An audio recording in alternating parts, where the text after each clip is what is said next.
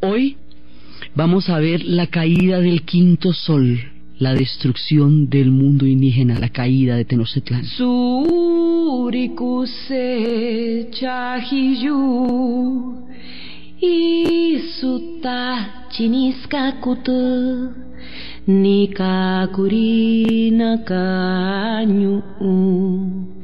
Nakunyu hiyoko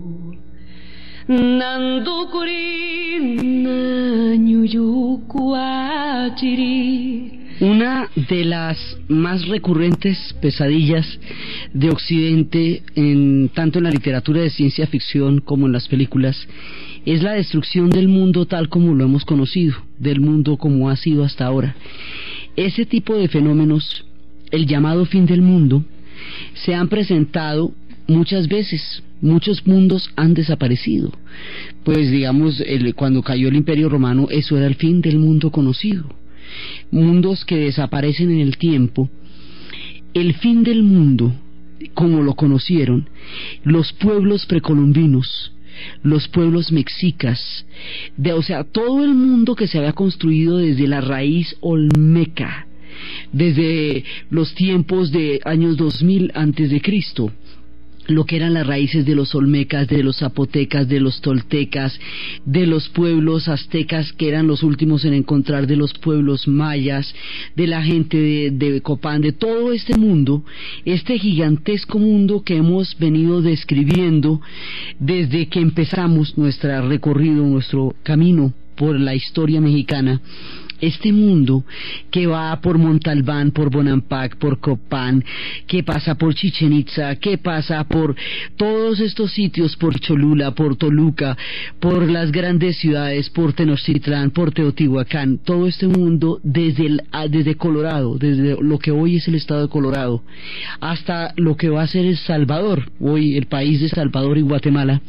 Este mundo, como lo conocimos, va a desaparecer no desaparecerá la raza de los hombres que lo compusieron, no desaparecerá la historia del mundo indígena, desaparecerá la hegemonía, es la caída del quinto sol de los aztecas, pero no habrá un sexto sol, habrá otro mundo, otras historias, pero ya no habrá un sexto sol a diferencia de todas aquellas ciudades que desaparecieron sin que nosotros conozcamos por qué y quedaron abandonadas en la selva y mucho tiempo después se descubrieron, la caída del mundo de los aztecas sí sabemos por qué fue y sí sabemos cómo fue. Y sabemos que fueron muchas las circunstancias que se fueron aunando, como diría Limonesniki, una serie de eventos desafortunados van a ocurrir para la caída del quinto sol de un mundo que de todas maneras está esperando la destrucción. Ellos saben que en algún momento su sol va a caer, pero de pronto no se imaginaban que caería de una manera tan estrepitosa porque no podrían tener una idea de dónde vendrían las fuentes de la caída de ese sol. Vamos a empezar poco a poco con la cantidad de acontecimientos, fisuras, azares que llevaron a la caída del imperio azteca y con la caída del imperio azteca a la caída de todo el mundo mexicano, todo el mundo precolombino que habíamos visto. Los pueblos de la América van a caer uno por uno, pero cada historia va a ser diferente. Cada historia va a tener unas características distintas. La nuestra es la de México porque ahí este es nuestro camino en el que estamos. Primero los presagios. Hay una cantidad de presagios Resulta que ellos tienen un calendario que está perfectamente organizado y que ya hemos visto que es mucho más exacto que incluso que el calendario que tenemos hoy. Y ese calendario contempla los ciclos de la vida y de la muerte, de las guerras, de la paz, de la siembra, de la cosecha. Ellos se comportan de acuerdo con ese calendario y no hacen las cosas fuera del tiempo del calendario. Entonces ahí está poco más o menos escrito prácticamente lo que va a ser la vida de ellos. Y las cosas que se salen de ese calendario empiezan a ser asustadoras y sospechosas. Entonces nosotros tenemos nuestro calendario bien puestecito y todo esperando las diferentes etapas de la vida, pero empiezan a pasar cosas muy inquietantes. Primero, un cometa o sea, una lengua de fuego. Los cometas siempre auguran eh, presagios que dan miedo a la gente. Desde entonces hasta el paso del cometa Halley, siempre que aparece un cometa, la gente se, se llena de, de presagios, porque los cometas son impredecibles muchas veces. Entonces aparece un cometa. Luego hay otros signos. Un rayo va a caer sobre el templo del dios tiempo y lo demuele eso es muy asustador que, que los rayos estén atentando contra los templos de los dioses. Entonces, un incendio después en el templo del Señor del Fuego, un rayo destruye el tiempo, un incendio destruye el fuego, el, el fuego que estaba metido dentro de un encierro de turquesa, que es el madre de los dioses, el fuego del hogar. Entonces, muchas cosas así. La rueda central, hay una rueda gigantesca que es la referencia que nosotros tenemos del calendario azteca si ustedes la pueden visualizar, es una rueda de piedra enorme que tiene el, exacto el calendario que es como uno de los símbolos más recurrentes que vemos cada vez que se habla de México es esta rueda.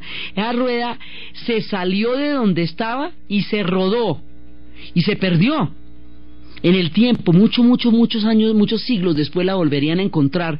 Hoy por hoy está en el Museo Antropológico de México, uno de los museos más alucinantes que puede haber. Pero en ese momento la rueda se desprendió de su eje y se rodó. Entonces esto ya va miedoso, va, muy asustador ya con la rueda por ahí desesperada.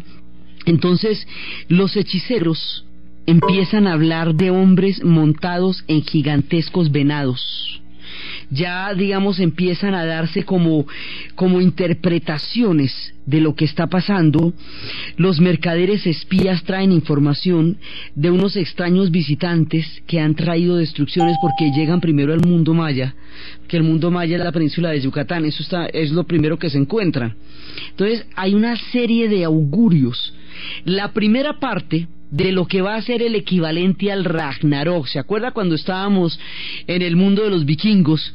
Que un día iba a acabarse el cielo de los vikingos, que un día iba a llegar el Ragnarok, iba a acabar con el mundo de Asgard. Pues el equivalente al Ragnarok de los vikingos, del mundo nórdico, es la caída del quinto sol para los aztecas. Y los, los eh, augurios empiezan a unarse y a dar una, una visión bastante atemorizante del futuro inmediato. Los pueblos de todas estas piedras, los pueblos del tiempo, empiezan a temer por los presagios de los dioses. Mujer de Dios, profeta de hierba, mujer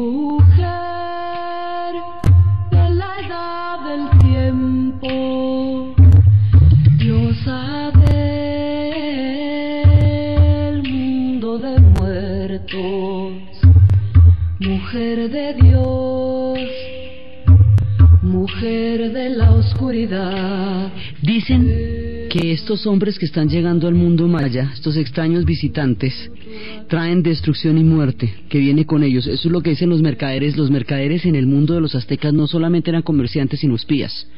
Ellos eran los correos y los correos dicen eso. Ahora, la cosa es que cada vez que vienen visitantes, pues vienen según los años de los calendarios de ellos. Los años del pedernal vienen del norte.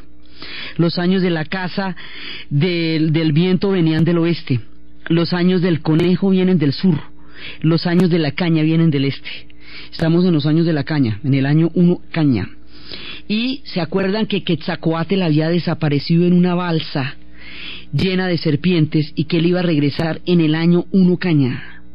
Entonces estamos en el año en que va a regresar Quetzalcoatl y empiezan las interpretaciones. La gente de Texcoco, acuérdense que son tres ciudades, Texcoco, Tenochtitlán y Tacuba, que Texcoco es la ciudad más culta, como la Atenas de la época, que Tenochtitlán es la guerrera, como decir Esparta, y Tacuba es como la ciudad comercial.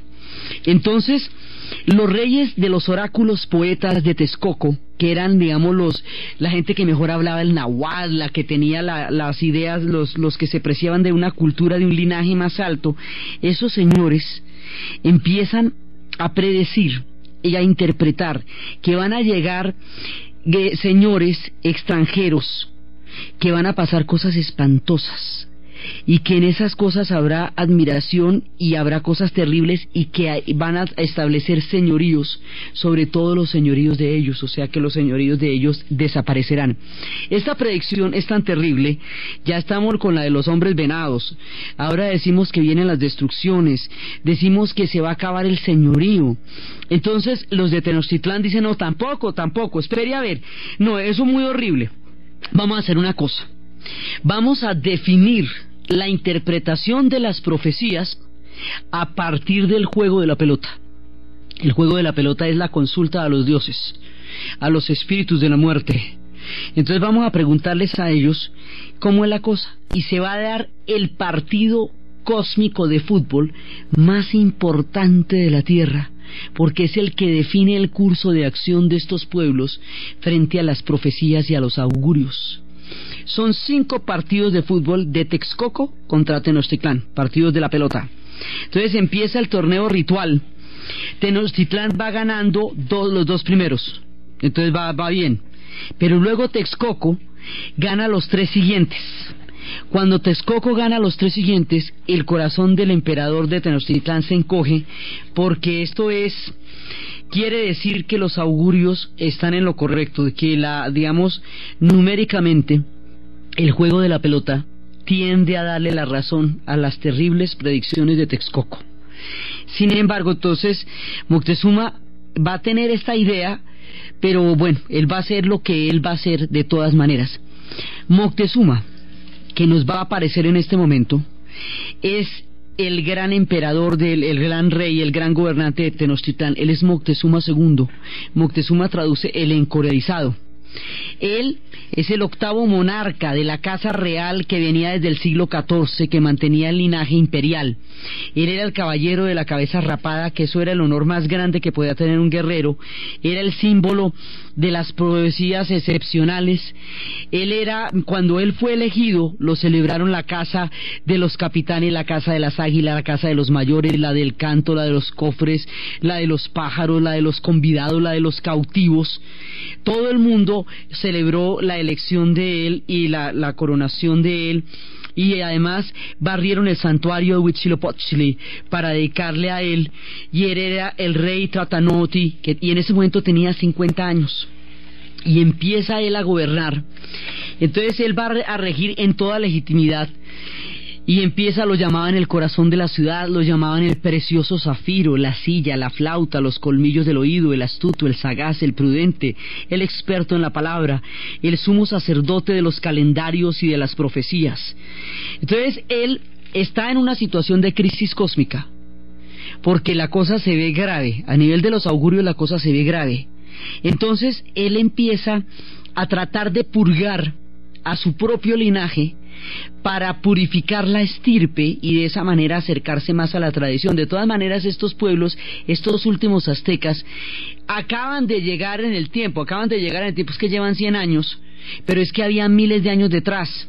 Entonces trata de acercarse mucho más a los linajes toltecas, de donde ellos se quieren proclamar descendientes, y hace una purga. Esa purga de su gente, de su propio linaje, es peligrosísima porque eso está como cuando a Stalin le dio por purgar la oficialidad de su propio ejército en vísperas de la invasión de Hitler. De manera que cuando Hitler entró, la oficialidad más destacada del ejército rojo haya sido purgada por Stalin. Moctezuma, en un ataque, digamos, de, de misticismo y de, y de retorno a la, a la tradición, que es lo que se produce en las épocas de crisis, hace una purga y esa purga genera primero profundos resentimientos dentro de su propia gente, pero además lo debilita. Entonces, eh, en este momento se va a presentar una serie de circunstancias van a debilitar a las ciudades de la Triple Alianza. Y una de esas circunstancias va a ser también eh, la arrogancia de Tenochtitlán.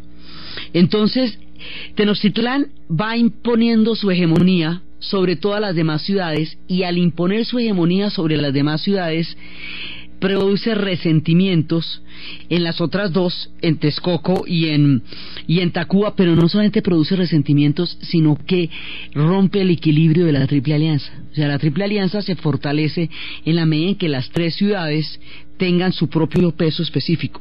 Entonces Texcoco, que es la ciudad de los reyes poetas, de los oráculos, va a tener en ese momento una, una tragedia que se llama la tragedia de la montaña del águila y es que va a ser atacado por una por otro pueblo de guerreros y mientras va a ser atacado Tenochtitlán no lo defiende. Y no los es decir los deja que los ataquen y no sale a defender y esto es una alianza Sí, eso está como cuando los rusos mandaron a los polacos en la última ofensiva contra los nazis al final de la Segunda Guerra Mundial y se quedaron quietos y todos los nazis acabaron con los cuatro polacos que quedaban vivos. Siempre los de Texcoco sospecharon que la falta de apoyo de Tenochtitlán en el momento en que ellos fueron atacados fue una traición o sea, digamos eso, eso se les chispoteó, o sea, fue eso fue una traición. Los de Tenochtitlán decían que no, pues que, que no, pero realmente los dejaron solos. En ese ataque de la tragedia de la montaña del águila es cuando va a morir el hijo del gran rey poeta. Y al morir el hijo del gran rey poeta, el rey poeta va a entrar en una crisis terrible y va, ahí es cuando él se suicida, cuando él se suicida se produce un vacío de poder. Y al producirse el vacío de poder se produce una guerra civil. Y al producirse la guerra civil ahí sí intervienen los de Tenochtitlán apoyando una de las fracciones de la guerra civil cuando no toca. Porque usted no se puede meter en eso porque eso sí es un problema de legitimidad. Entonces el resultado final es que Texcoco queda desactivada políticamente para poder hacer frente a lo que va a venir en esas tres torres. O sea, Texcoco queda fuera de combate ahí porque está sumido en una guerra civil, en un vacío de poder y porque se ha generado en su corazón un profundo, una profunda desconfianza respecto a la lealtad y al carácter de la alianza que tiene con Tenochtitlán. Entonces sale del paseo, se van a debilitar las ciudades poco a poco, de manera que lo mismo Tacuba también se va a debilitar profundamente, de manera que no va a haber quien eh, pueda respaldar a Moctezuma. A Moctezuma le va a tocar solito enfrentar todo lo que vaya a pasar porque las otras ciudades de la alianza quedan desactivadas por una serie de circunstancias y guerras civiles y se debilitan y el hombre queda solo enfrentando la cosa. Mientras tanto, este, la debilidad de las ciudades de la alianza va a fortalecer a los grandes enemigos de ellos. Y los grandes enemigos de ellos es una federación de unas 200 ciudades que se llama la Federación de Tlaxcala. Y de allá están los pueblos tlaxcaltecas. Y los pueblos tlaxcaltecas son los enemigos acérrimos de estos que son de nuestra historia, o sea, de las tres ciudades. Esto los vamos de los aztecas o de los mexicas. Sí, ellos se llaman a sí mismos mexicas y los españoles después los llamarían aztecas. Los enemigos de ese combo, o sea, de las tres ciudades de la alianza, de Tenochtitlán, de Texcoco y de Tacuba, son los tlaxcaltecas. Y los tlaxcaltecas se van a enfrentar con ellos y van a empezar a atacar ciudades, o sea, la Federación Tlaxcalteca se va haciendo cada vez más fuerte y va a empezar a atacar ciudades. Y hay un momento en que ataca una pequeña ciudad, y la pequeña ciudad, Huezotincingas, es una pequeña ciudad y, los, de la pequeña ciudad le piden ayuda a los, a los aztecas, a los grandotes, a Tenochtitlán, y Tenochtitlán, por arrogante, los trata como si fueran un pueblo de ocupación. O sea, llega pisando duro, se las monta, mejor dicho. Entonces, ¿usted para qué necesita que se la monten cuando se la van a montar los otros? Usted pide ayuda, o sea, si me va a pegar, no me regañe. Usted pide ayuda porque los demás lo van a atacar los tlaxcaltecas. Le pide ayuda a los enemigos de ellos a ver si lo pueden ayudar y los enemigos de ellos lo invaden y lo empiezan a tratar como si usted fuera un país, una, una tierra ocupada, por una soberbia muy grande, una arrogancia, en ese momento ellos estaban en, en una arrogancia muy grande, eso hace que esta gente, en lugar de ser sus aliados, también tengan bronca con ellos. O sea, ahí todo el mundo se está, se está embroncando con Tenochtitlán porque Tenochtitlán está haciendo unas jugadas diplomáticas erráticas. Pues así, esto de tratar a esta gente con tanto desprecio. Hay rebeliones de los tributos de los totonacas porque ellos han sido supercargados con, con tributos, con impuestos. Acuérdese que la grandeza de Tenochtitlán también depende de la cantidad de tributos que recibe. Entonces, en ese momento, los pueblos totanacas empiezan a rebelarse y a ellos les van a dar durísimo también los de Tenochtitlán. Entonces hay un momento en que Tenochtitlán eh, se empieza a, a echar a todo el mundo encima por diferentes razones, o porque no los ayudó, o porque cuando le pidieron ayuda se las montó, o porque eran sus enemigos naturales como pasaba con la Federación de los Tlaxcaltecas, y así las cosas se van complicando. Entonces, esto en otro momento de la historia simplemente se hubiera traducido en que a lo mejor decae la hegemonía de los pueblos de, de México, o sea, de Tenochtitlán, de los mexicas y hubiera subido la hegemonía de los tlaxcaltecas, ¿no es cierto? Como ha pasado tantas veces antes. A lo largo de esta historia, entonces una vez estaban los olmecas en la jugada y de pronto decae la hegemonía de ellos y entonces van a llegar eh, que los topotecas o que los toltecas. Nuestra historia ha cambiado de ejes a lo largo de estos milenios y de pronto el centro está en la Veracruz o de pronto está en Montalbán o de pronto está en, en México, en, en, en, en Tenochtitlán, simplemente hubiéramos cambiado de hegemonía y había sido el fin de la hegemonía de los pueblos de la Triple Alianza y a lo mejor hubiera comenzado el tiempo de la hegemonía de los pueblos de la Gran Federación Trascalteca y ya, todo bien, ve, como caían las dinastías chinas, que golpe caía una dinastía que era todo un pueblo el que caía con ella y subía otra dinastía y no va nada. Hay una crisis y tal, y se, pero una hegemonía de poder, hasta ahí no hay problema, ¿eh? Hasta ahí hubiera sido simplemente un relevo de las hegemonías en el mundo indígena mexicano. Todo bien. Pero es que se van a enfrentar a una fuerza de una naturaleza muy distinta. Esto, si se hubiera resuelto entre ellos, pues simplemente cambian de color, ¿ve? Pero no. Aquí lo que pasa es que ellos se van a enfrentar a estas expediciones que están llegando en las tres torres y esos son como si fueran los extraterrestres, mejor dicho, se van a enfrentar a, a otro mundo, literalmente a otro mundo que para efectos prácticos bien podría quedar en otro planeta lo mismo, ¿me entiendes? Eso eran tan marcianos como si vinieran de Marte. Entonces, la llegada del otro mundo tiene problemas y es que ahí en el, azar también juega un papel importante. Resulta que las primeras expediciones llegaron a Yucatán porque Yucatán es lo la península es lo primero que se ve en la navegación, en las rutas de la navegación. A Yucatán antes de la llegada de Cortés habían llegado dos españoles, uno de apellido Aguilar y otro de apellido Guerrero. Al de apellido Aguilar le dicen Juanillo y al otro le dicen Melchorejo. Entonces resulta que estos dos españoles van a tomar dos actitudes completamente diferentes frente a la llegada de Cortés. El llamado eh, guerrero, Melchorejo, este hombre se va a convertir profundamente al pueblo maya como en la historia de un hombre llamado caballo, como en la historia de danza con lobos, como en la historia de los blancos que llegan a entenderse tan profunda y espiritualmente con una tribu que llegan a ser parte de ella. Este tipo les dice, esos que vienen allá no solamente no son dioses, sino que son personas llenas de ambiciones, y ahí es que cascarles prontico y a toda hora, de día y de noche, o sea, con ellos Nada, les advierto porque yo los conozco, yo sé de dónde vienen. Y esa era la línea del hombre.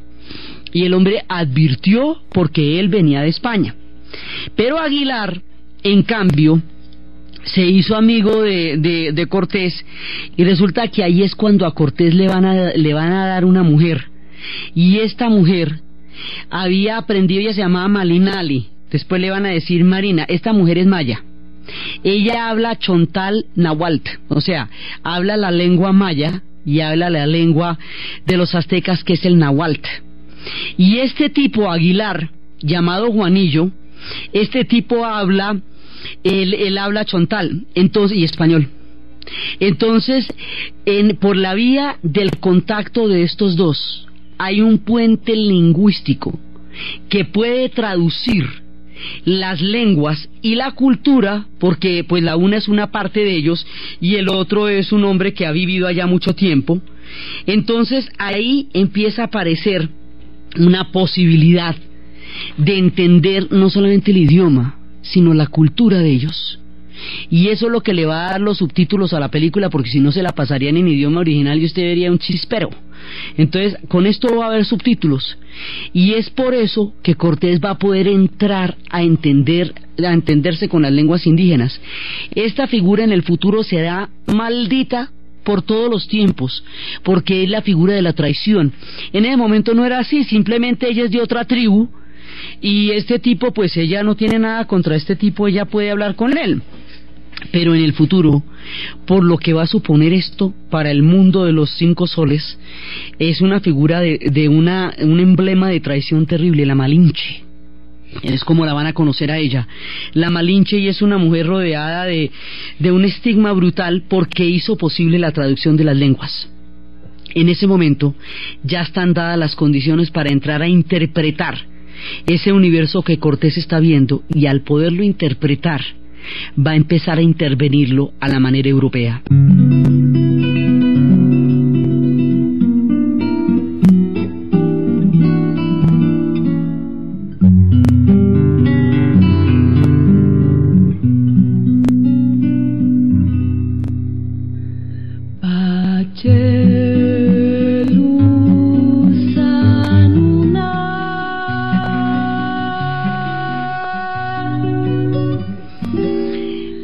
Estas, ¿cómo es que va a desembarcar Cortés? O sea, ¿cómo aparece en la figura? En aquella época, fuera de la primera expedición, que la va a hacer la corona, las demás son expediciones privadas. O sea, se junta un combo. Entonces un, tipo dice, ah, yo pongo el barco. El otro dice, yo pongo las armas. El otro dice, yo pongo los víveres. El otro dice, yo pongo el agua. Y entonces armamos un combo, nos montamos a la mar y el tesoro que cogemos no lo repartimos. Y así es, o sea, son empresas extractivas las que van a empezar a, llegar allá. Entonces, ¿qué pasa? Que así no hay un dueño de la expedición, hay un líder, digamos, que lo nombran, pero el tipo no es el dueño del balón, porque no es el dueño ni del barco, ni del agua, ni de las armas, nada. Eso es el nombre que va a, a comandar la expedición pero ese cargo, digamos, lo tiene que estar ganando siempre porque finalmente, pues no hay ninguna razón por la cual lo respeten más allá de que se haga respetar. Entonces, eso hace que los capitanes de expedición siempre estén al borde de la traición y que siempre la legitimidad de su liderazgo esté, esté al límite porque ellos están llegando eh, a, la, a, la, buena en mi Dios, ¿ve? Entonces van a llegar con ballesteros y todo eso van a llegar allá. Y resulta que Cortés cuando llega está siempre en el borde, siempre está en el borde y él tiene que convencer a sus hombres de seguir adelante, siempre va a convencer a sus hombres de venir adelante y además ahí va a ser una maniobra. Hay una ley de la época de Alfonso X el Sabio una ley que decía que usted podía nombrar, eh, digamos que la, la villa podía fundar una, una especie de ayuntamiento, como llaman ellos a la alcaldía, y nombrar un personaje que fuera como decir el alcalde o el líder. Entonces, él renuncia a la jefatura de la expedición, crea una villa, o sea, la figura de una villa con los hombres, y vuelve a quedar elegido. De esa manera, crea una ciudad y se atribuye una legitimidad que le permita pasarse por la galleta al gobernador de La Habana, que es el cargo más importante que hay después de la corona.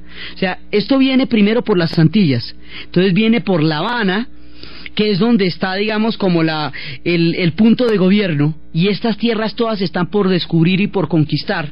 Entonces el hombre se hace nombrar de, como jefe del ayuntamiento para darse una legitimidad jurídica, política, que haga que no tenga que responderle al gobernador de, de, La Habana, sino directamente al rey.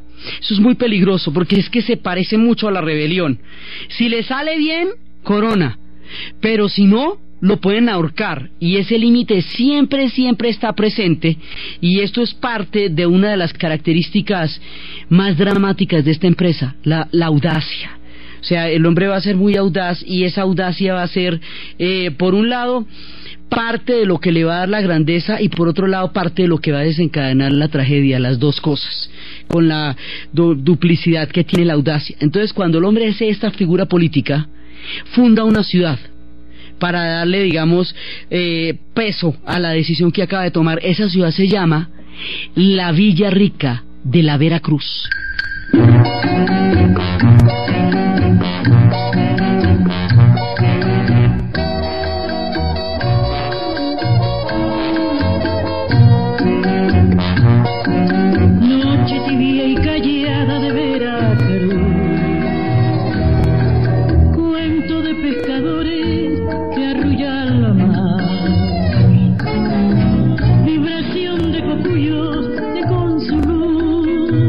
Resulta que el hombre hace una maniobra política para legitimarse ante los españoles, pues ante la corona de donde viene, sobre todo para no depender del gobernador de La Habana. Esa es como la vuelta que hace, para poderse quedar allá.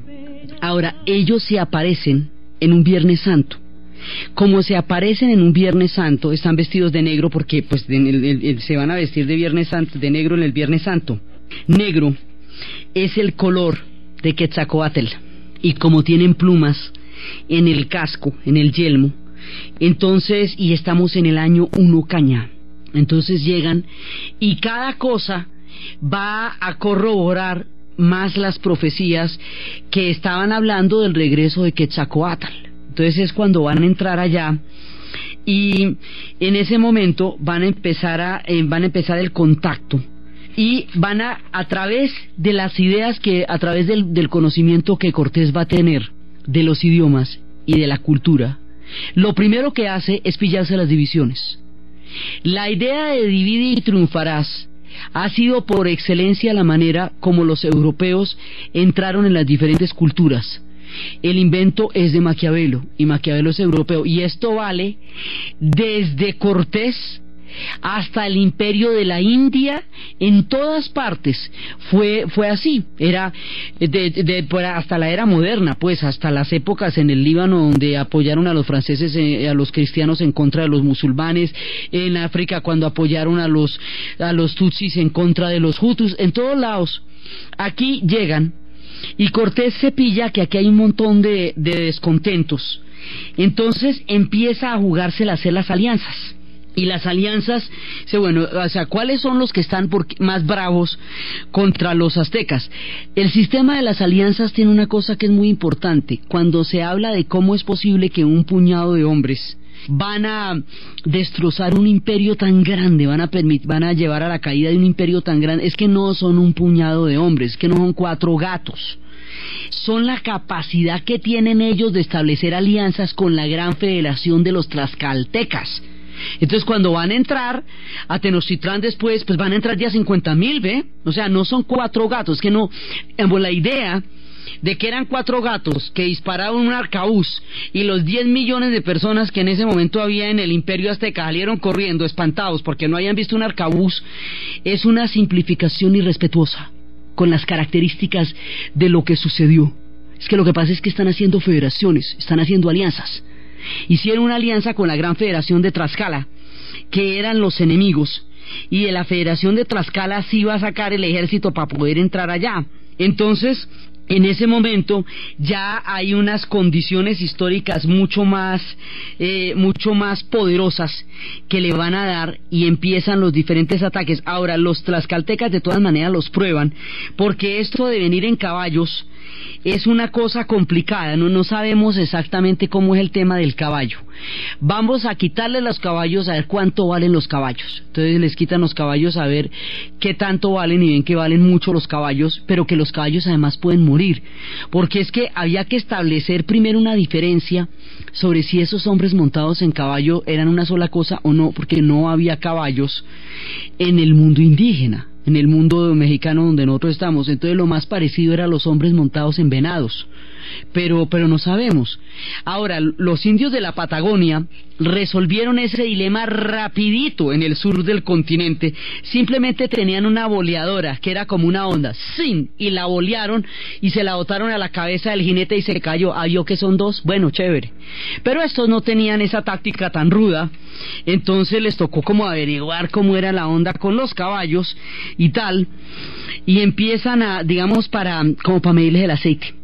Entonces, para saber si son dioses, para saber si son hombres, para saber cómo, cómo es la cosa. Entonces, mientras tanto, hay una, empiezan a darse las divisiones. A esta gente, ¿qué hacemos? A esta gente la vamos a, la vamos a considerar divinidad o los vamos es más bien a matar. Hay una división ahí. Hay quienes dicen, los jóvenes dicen hay que acabarlos. Y los otros dicen, no, con esta gente podemos establecer alianzas. Ahora, ¿cuál es la diferencia de las alianzas con el, con el grupo de Cortés? Es que esa es una alianza con seres de otro mundo. Y nadie se va a imaginar que al otro lado del mar hay millones de donde vienen estos y que van a venir y van a venir y van a venir en oleadas que el problema no son estos que están acá, sino otros muchos que van a llegar. Eso quién se lo va a imaginar, no es que como el, el mundo de ellos cubría de un océano a otro, Usted no tiene por qué imaginarse que al otro lado de ese océano existe otro mundo donde se está formando una noción de imperio absolutamente gigantesca y que esa noción de imperio lo va a acabar a usted porque tiene además un concepto de destino manifiesto donde tiene metido en la cabeza que lo que va a hacer es conquistar. Cuando usted tiene la idea de la conquista en la cabeza, usted lo que quiere es el sometimiento y la aniquilación del otro. Eso es un destino que ya está dado. Entonces lo que Cortés decía era, aquí se le puede dar al rey un imperio colosal. O sea, él se pilla que es un imperio impresionante. Pues en ese momento Tenochtitlan era una ciudad de más de 300 mil habitantes. Los datos varían. Hablan de 500 mil, otros hablan de un millón. Eran las ciudades donde se establece, donde se olía el chocolate caliente, donde se había toda esta cantidad de esplendores. El hombre ve, es una cosa impresionante, queda alucinado. Entonces la idea que él tiene es poderse tomar ese imperio lo más intacto posible y entregárselo al rey de España tal cual y ganarse un golazo de media cancha diciéndole, mire, aquí le tengo un imperio, el que usted no se imagina.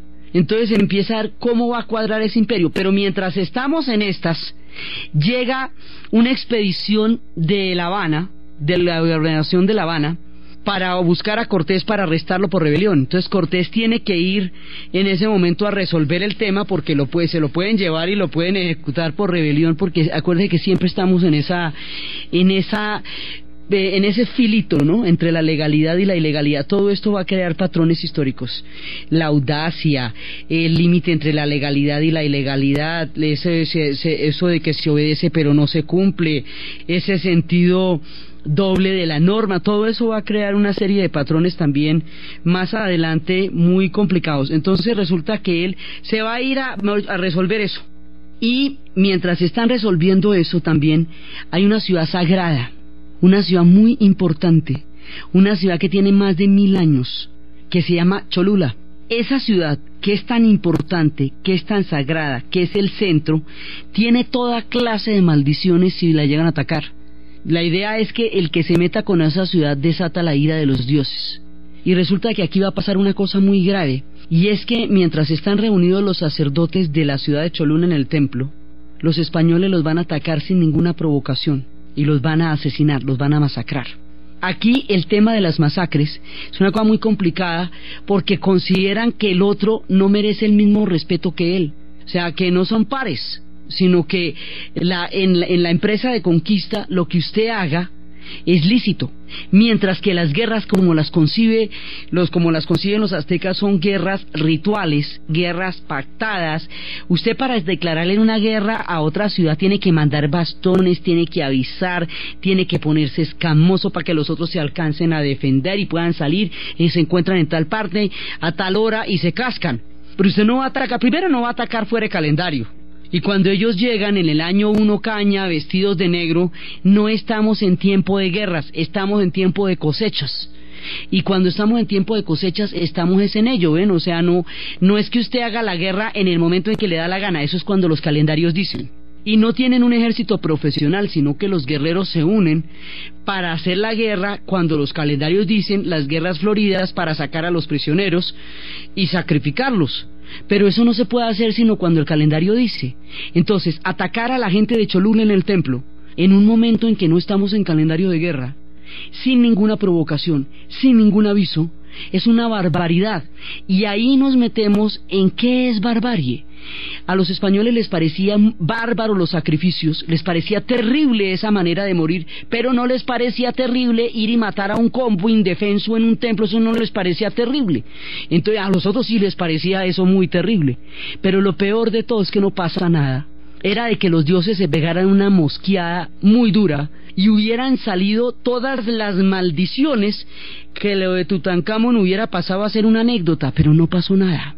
Esto es un dilema gravísimo porque si no pasa nada quiere decir que los dioses los abandonaron. Y si los dioses los abandonaron, pues ahí sí que hacemos, ¿ve? Porque ellos están esperando una respuesta de los dioses. Hay historiadores que le atribuyen al ataque de Cholula un factor importantísimo de la caída, de la tragedia cósmica, de lo que va a pasar con el pueblo, con todo el mundo indígena, porque están esperando rápidamente que los dioses reaccionen. Y los dioses parecen mudos, los dioses parecen silenciosos. Entonces estamos con los augurios, con las divisiones políticas, con el silencio de los dioses. Y la cosa está verdaderamente grave.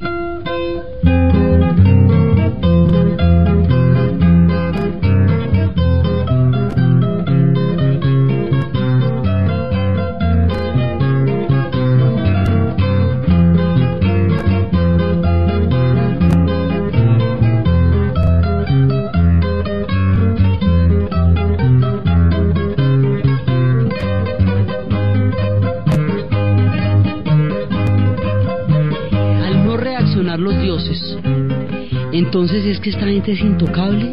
¿O es que los dioses los abandonaron? ¿O ambas cosas?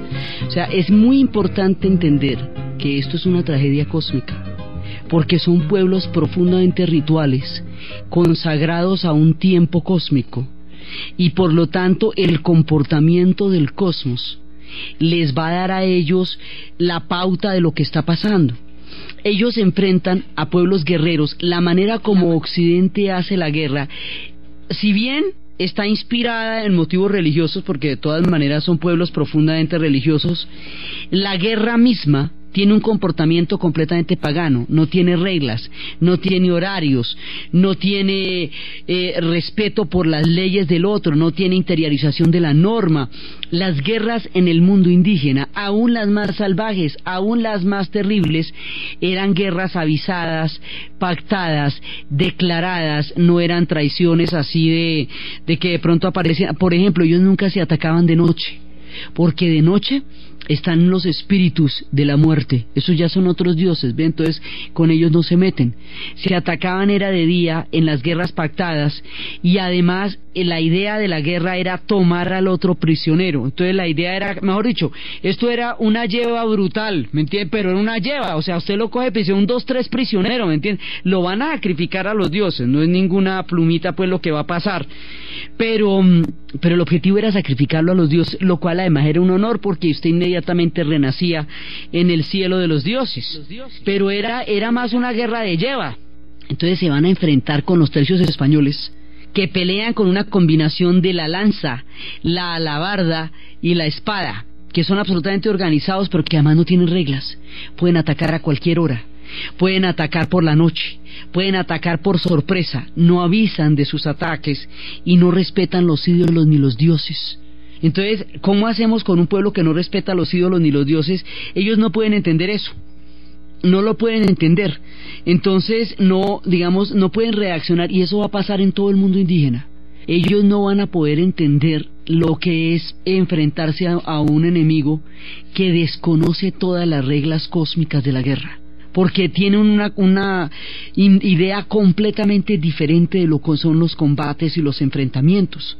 Entonces, no solamente la idea de la guerra, sino además la superioridad tecnológica va a hacer que, en, términos de, pelea, de cómo saber pelear, va a hacer que las cosas van a, van a complicarse muchísimo. Entonces, van a entrar, ya el 9 de noviembre de 1519, van a entrar a Tenochtitlán, la primera expedición, y allá van a durar siete meses. Y resulta que aquí, en ese momento, cuando ellos entran, ahí los ídolos van a desaparecer. Y nunca nadie los encontró, jamás, jamás los van a encontrar porque eso no, no se sabe qué pasó ni nada, nunca. Eso es uno de los tesoros de, la, de las historias más eh, misteriosas que pasó con los ídolos. Entonces van a entrar allá y al mismo tiempo están pasando muchas cosas porque también los em, los calpullis eh, eh, lo que va a hacer Moctezuma es impedir el acceso de los calpullis lo que va a generar cantidades de contradicciones por dentro y los ataques que se van dando por ejemplo cuando atacaron a los pueblos en el festival de la danza de la buena fortuna que era los van a atacar mientras estaban danzando o sea se van a presentar una serie de ataques que se van a dar en tiempos rituales, ya sea en Cholula, ya sea danzando, y esos ataques en tiempos rituales son aterradores porque usted cómo se enfrenta con alguien que no tiene el honor de respetar una danza ritual. Entonces ellos dicen cuando, cuando van a hacer el ataque del Festival de la Danza de la Buena Fortuna, piensan es que como están danzando los van a atacar y los van y los atacan por si las moscas y resulta que esto es una villanía total porque mientras están en la danza ritual no se les puede atacar. Después pasaría lo mismo con los indios de Norteamérica, cuando empiezan los indios danzantes a, a pedirle a los dioses que los ayuden, los blancos van a creer que esos son danzas de ataque y los van a atacar y los van a matar. Entonces, aquí empieza un momento en el cual va a entrar Cortés y se va a encontrar con Moctezuma. Y aquí va a pasar una cosa muy rara. Cortés y Moctezuma van a entrar en una, en una situación completamente misteriosa. Porque es que Cortés toma a Moctezuma como prisionero. O sea, lo que Cortés quiere es tomarse el imperio por arriba, someterlo a su vasallaje y entregárselo al rey de España enteritico. Sí, como cuando usted le saca el esqueleto a un pescado y le sale completico. Entonces él quiere hacer eso. Ojalá no hubiera tenido que destruirlo, hubiera preferido no hacerlo. Pero las cosas no se dieron de esa manera. Entonces, ¿cómo lo va a hacer? Por el lado del el gobernante máximo, ¿cierto? Por el lado de Moctezuma. Entonces toma a Moctezuma prisionero. Y Moctezuma queda prisionero. Primero eso es impensable, o sea, tomarlo como prisionero y tenerlo allá, en esa situación de vacío de poder. Y se van a quedar los dos unos meses, Moctezuma y Cortés y ahí pasan cosas muy raras. Pasan cosas que nadie logra entender porque Moctezuma parecería embrujado por Cortés. Mejor dicho, eh, si fuera paisa le hubieran dicho, beboste, embobaste. Porque el hombre queda ahí pegado a Cortés y como que no reacciona. Y si él, que es el gran zafiro, que es la flauta, que es la silla, no reacciona, entonces ¿quién? Entonces los demás de la ciudad dicen, pero este man, ¿qué le pasa? ¿Cómo así que se va a dejar tomar prisionero de esa manera? No saben cómo liderar la rebelión. Si la rebelión está, estaría en cabeza de él, él le pide a Cortés que libere a su hermano. Cortés libera a su hermano y el hermano inmediatamente encabeza la rebelión. Ahí por lo menos ya hay una cabeza del mismo linaje que puede montar una rebelión. Entonces en ese momento se va a dar, pero ya las cosas están muy avanzadas. La extrañísima relación entre Cortés y Moctezuma, lindando en el síndrome de Estocolmo, porque nadie entiende qué le pasa a Moctezuma en ese momento.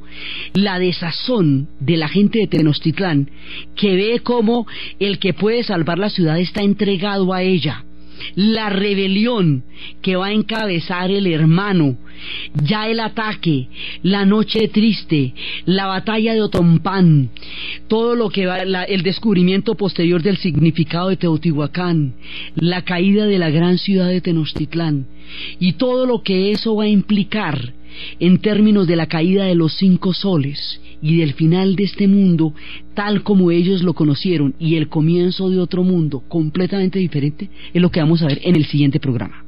Entonces, desde los espacios cósmicos, de los presagios y los augurios, desde los hombres venados, desde la tragedia del Monte del Águila, desde las historias de los templos de Cholula, desde la fiesta de la Pascua Florida, desde todas estas historias en las cuales ellos están ante los presagios, desde las cosmovisiones que se enfrentan las unas a las otras, desde las traiciones, desde las alianzas,